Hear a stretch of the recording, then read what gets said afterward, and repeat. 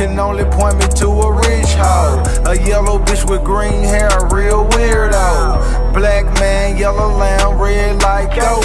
They say they who on them just came in through the side though. It's so much money on the floor, we buy school clothes.